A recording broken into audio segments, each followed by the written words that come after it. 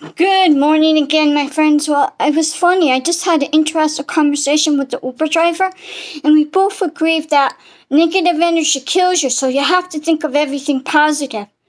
And not always easy, but positive energy will keep you alive. Negative energy will take 10 years off your life.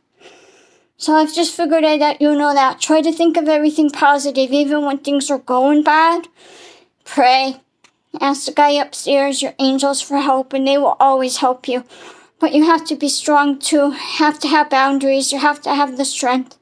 Because sometimes those curveballs are going to throw you right off your balance. But it's okay.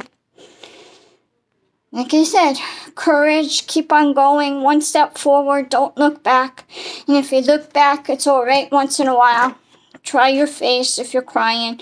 And then just keep on going, because everything that was great is going to happen, but you just got to keep moving so you get to it. Love you, my friends. So.